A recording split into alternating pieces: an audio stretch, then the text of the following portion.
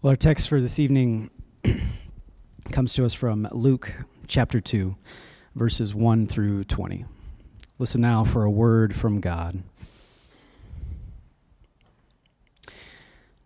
In those days, a decree went out from Emperor Augustus that all the world should be registered. This was the first registration and was taken while Quirinius was governor of Syria all went to their own towns to be registered. Joseph also went from the town of Nazareth in Galilee to Judea, to the city of David called Bethlehem, because he was descended from the house and family of David. He went to be registered with Mary, to whom he was engaged and who was expecting a child. While they were there, the time came for her to deliver her child. And she gave birth to her firstborn son and wrapped him in bands of cloth and laid him in a manger, because there was no place for them in the inn. Now, in that region, there were shepherds living in the fields, keeping watch over their flocks by night. Then an angel of the Lord stood before them, and the glory of the Lord shone around them, and they were terrified. But the angel said to them, Don't be afraid. Look, I'm bringing you good news of great joy for all the people. To you is born this day in the city of David a Savior, who is the Messiah, the Lord. This will be a sign for you. You'll find a child wrapped in bands of cloth and lying in a manger. And suddenly there was with the angel a multitude of the heavenly host, praising God and saying, Glory to God in the highest.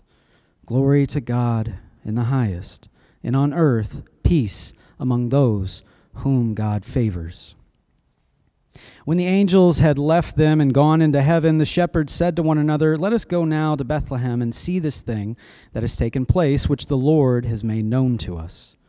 So they went with haste and found Mary and Joseph and the child lying in the manger. When they saw this, they made known what had been told them about this child, and all who heard it were amazed at what the shepherds told them. But Mary, Mary treasured all these words and pondered them in her heart. The shepherds returned, glorifying and praising God for all they had heard and seen as it had been told to them.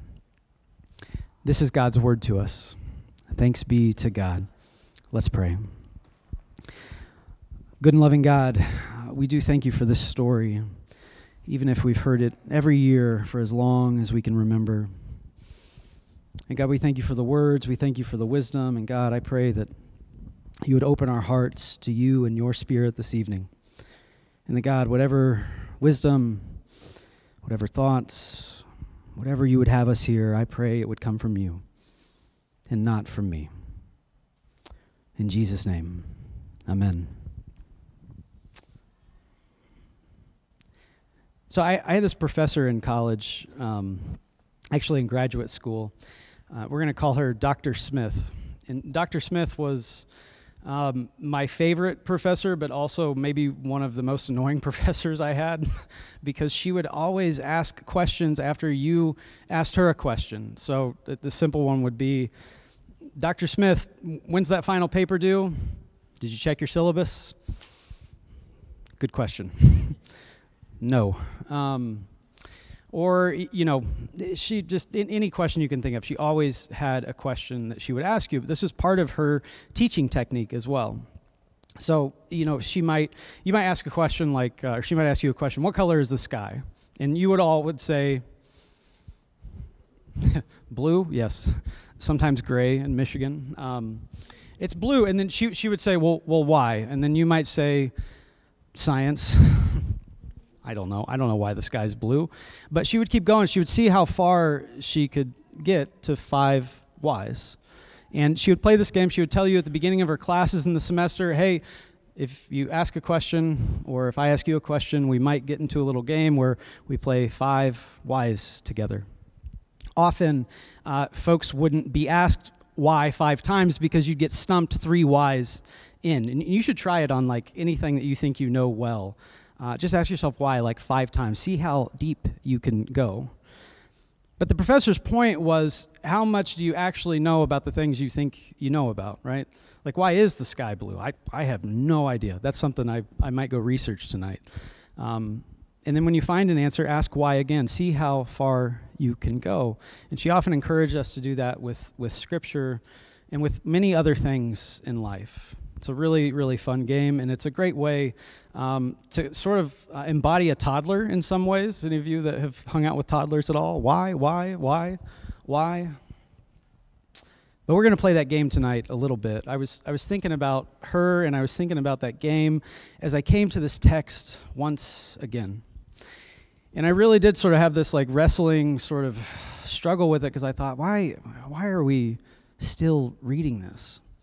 Why, after 2,000 years of telling it, do we still come back and do it? Why do people show up to church at night on a cold and frigid evening to hear this story?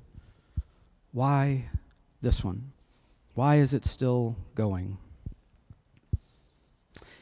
You know, and we might come up with a few answers right off the bat, right? We might say, well, we, we want to make sure that we keep the uh, the reason for the season in the right place, right? We might we want to make sure we keep uh, Christ in Christmas, right? We want to remember what this season's really all about. But to that, I would ask, and my professor would ask, why? That's what we've always done. Well, why? why? Why? So I want to see tonight if we can go a little bit deeper into some of these characters that we've come across in the text and just see what we can learn from this story. So, in order to do this, I'm going to uh, talk a lot about world history. Are there any historians in here at all? Anyone? I'm not seeing any hands. That's great because I'm going to fly fast and loose with world history, and I don't need any speed bumps in my way, all right? So, please do your research. I, I think I have all of my facts correct, but it, it, was a lot to internalize, and so if I mess something up, um, feel free to shoot me an email to correct me. But I'm a pastor, not a historian. So, first, we're going to talk about Caesar, and then we're going to talk about Herod, and then we're going to talk about Joseph, and then we're going to talk about Mary, and if we have time left over, we'll talk a little bit about Jesus, okay?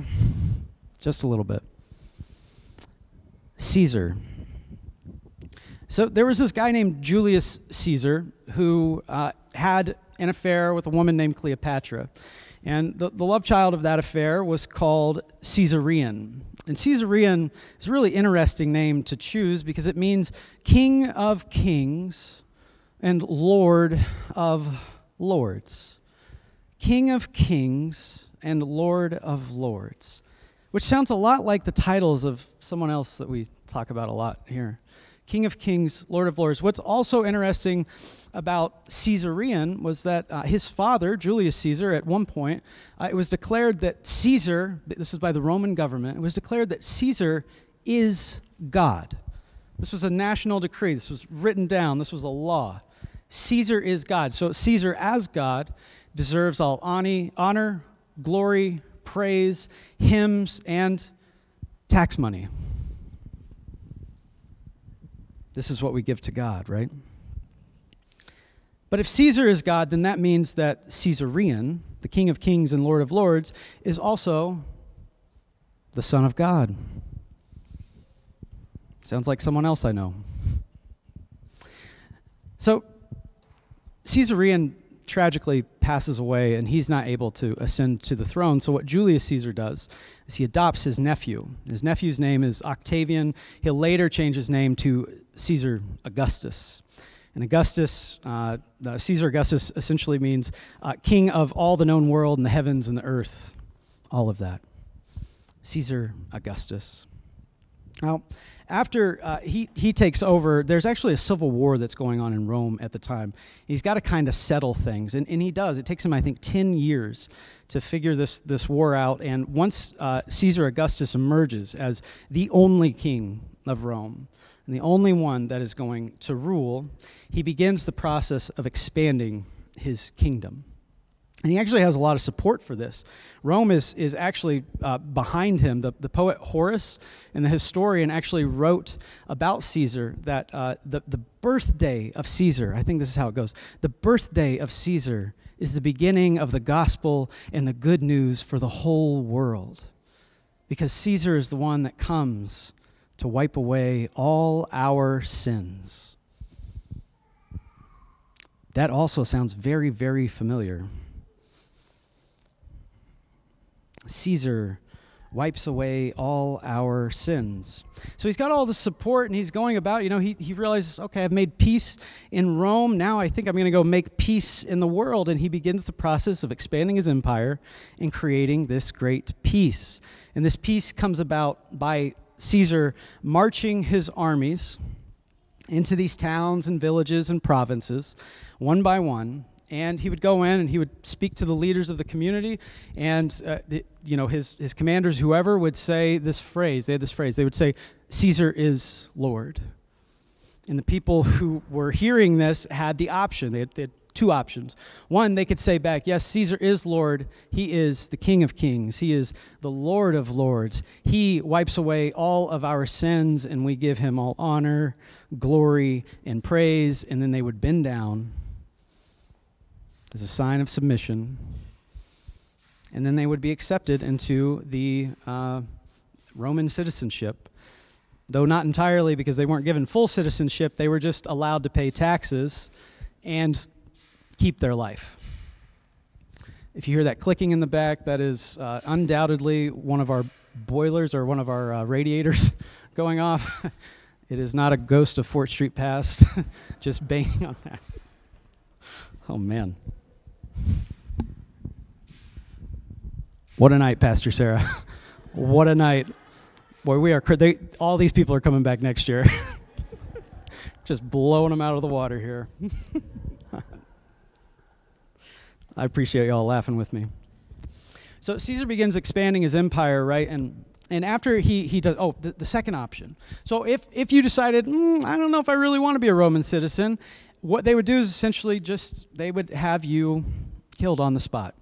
And the way they did that was by a cross, something else that sounds familiar. And oftentimes, what they would do is they would line these crosses along the road going into major cities so that anyone traveling into those cities would understand that you probably shouldn't resist Rome, and also Rome has been here and they rule this world.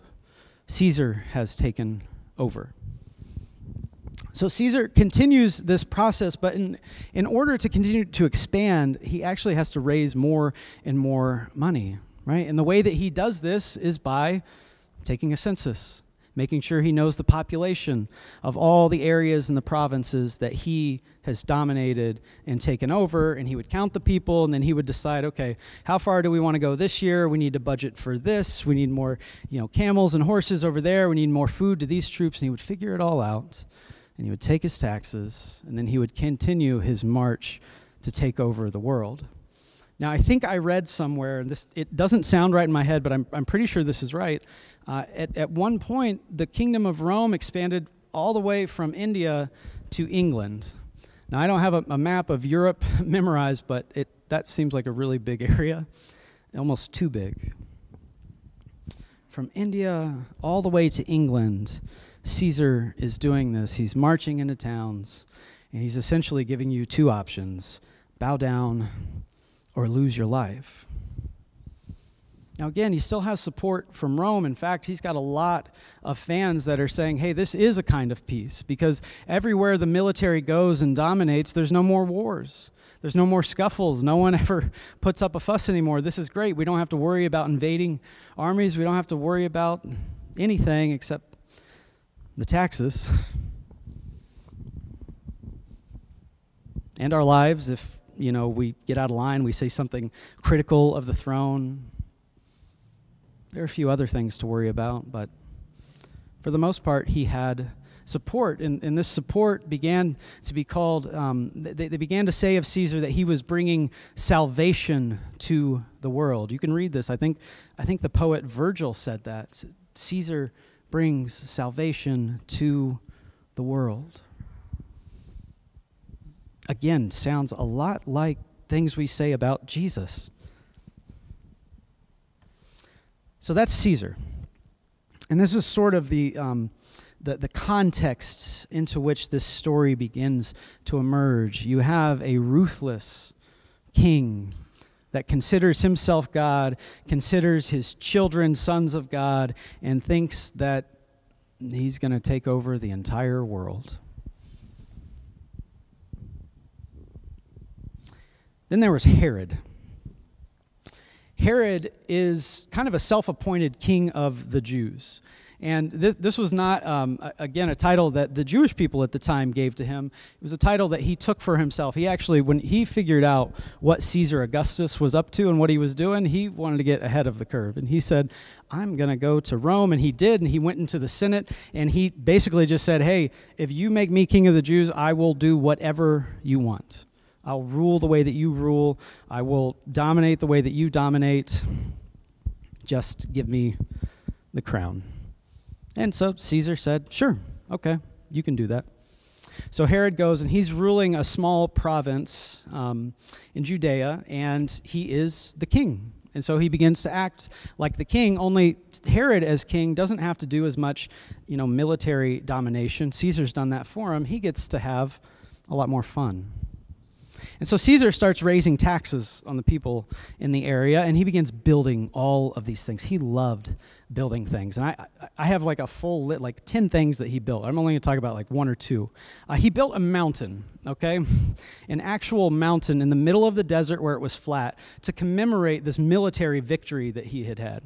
And so he had all of these stones brought uh, by these workers, and, and they piled it up until it was a mountain big enough for his liking. And then he named it after himself. He called it Herodium, which is really clever. And th- this mountain just sort of stood there and it was erected to honor him. And uh, funny thing about this mountain, uh, there are some scholars that think this is the same mountain that Jesus was looking at when he said to his disciples, I tell you the truth. If you have enough faith, you can say to this mountain, Go into the sea, and the mountain will go into the sea. Because the idea is there that if King Herod can build a mountain, well, then by the grace and help of God, you can tear it down. So he built a mountain. Uh, he built a theater as well. He built this, this theater that was uh, actually near Nazareth, where Jesus uh, was, was from, where Joseph was working. And he built a few other, he built a, an entire city called Caesarea uh, to honor the Caesar and to sort of do a little brown nosing. Um, and he, he built Caesarea actually to get more tax revenue because there were a bunch of ships that were going in and out of the port. And so he raised more and more money and he grew Caesar's army and he grew the things that he was building and it really just promoted his reputation. But he was really just sort of Caesar light and considered himself the son of God. Caesar is God and the king below him is maybe not family, but still an extension of Caesar. Herod gets to play Son of God. And he played the part well. You know, at, uh, upon his death, he ordered uh, like 20 influential people in Jerusalem to be put to death so that he could guarantee on his death day that there was mourning in all of Jerusalem. That's who Herod was. And Herod, along with Caesar, was a prince of peace, a king among kings, maybe not the king of kings, a lord among lords, maybe not lord of lords. He was awful. he was awful. So that's Herod. So there's Caesar who's ruling over everyone and everything. And then there's Herod who's ruling over a small part and doing an awful job at it. And then there's Joseph.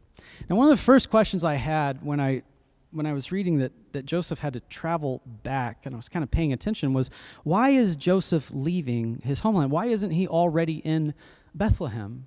Because J- Jewish people at the time had, had very strong ties to their land, and often that land was passed down from generation to generation. Um, sometimes 10 generations, 20 generations, maybe 25, 30. I mean, this land stayed in the family. So, why is Joseph not in Bethlehem? Why is he all the way out in Nazareth? And I read something that it, it was, it was likely because the pressure of all the taxes that these people had to pay had actually displaced them from their ancestral lands. So the, the taxes from Caesar and then the taxes from Herod, and then because Joseph is a good Jewish man, he paid tax to the temple as well. Triple taxation.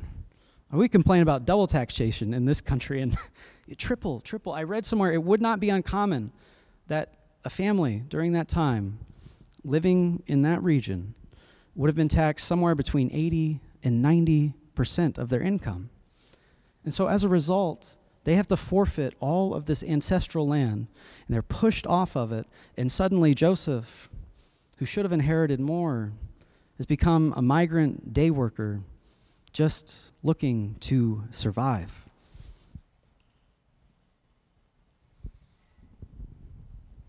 That sounds familiar. In America in 2022.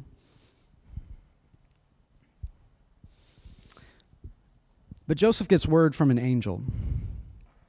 And the angel basically tells him, hey, God's up to something. Don't worry about this. You're going to have a son, and he's going to be called God Saves. And this would have signaled something to Joseph, because Joseph would have known the Hebrew text. He would have known the story of their God, this God that brought the people out of Egypt, liberated his people, and set them free from another oppressive king. And so when Joseph gets word from this angel that something else is going to happen, he's likely confused and scared, but maybe, maybe there's a little bit of hope that God is going to work again in the same way that God had worked all those years before. And then there's Mary. Mary is likely 13 or 14 at the time, and that was uh, just the way things happen. I think life expectancy was 40, if not a little bit more than 40. And so uh, at 14, life was getting started. This is when you got married, this is when you had children. And she is likely caught in the middle. She's seeing this man that she is uh, going to wed, struggling to find work, being forced away from his homeland, and she is being dragged along with him. But she also is uh, she also encounters an angel. And this angel comes to her and tells her essentially what was told to Joseph hey, God is up to something. This child is going to come into the world, and you're going to name him God Saves, Jesus. And he'll be called the Prince of Peace.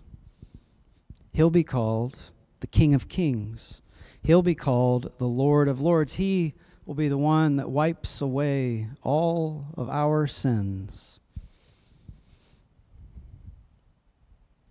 He will bring salvation to the earth. And after Mary hears this, she sings this song, and you can read it in Luke chapter 1. Uh, we often call it the Magnificat uh, or Mary's song. But what Mary says is essentially it's this song of praise, and she's praising that finally God is going to act and the system's coming down. God is not going to allow Caesar to behave this way anymore. God is not going to allow his people to suffer. She's happy about this. She's elated. She can't wait even if there is still a little bit of nervousness and turmoil inside of her. And then Jesus arrives.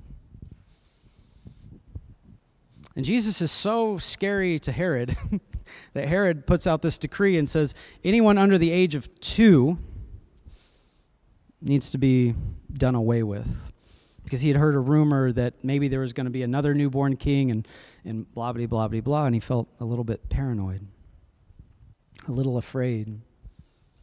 But Jesus shows up in a manger, wrapped in strips of cloth, among barn animals. And we call him the King of Kings, the Lord of Lords, the Prince of Peace, the one that wipes away our sins, our Savior bringer of salvation. And you might be wondering still, why do we read this every single year on Christmas? Why, why are we still doing this? And I think the answer lies somewhere in reminding ourselves, especially those of us that might still live in an empire, it's really important to remember who you give your praise to, who you give your honor to, who you give glory to, who do you worship? Who has the right to be called God? It's really important that we remember these things because these realities, these tyrants, these emperors, these evils in the world, they still exist.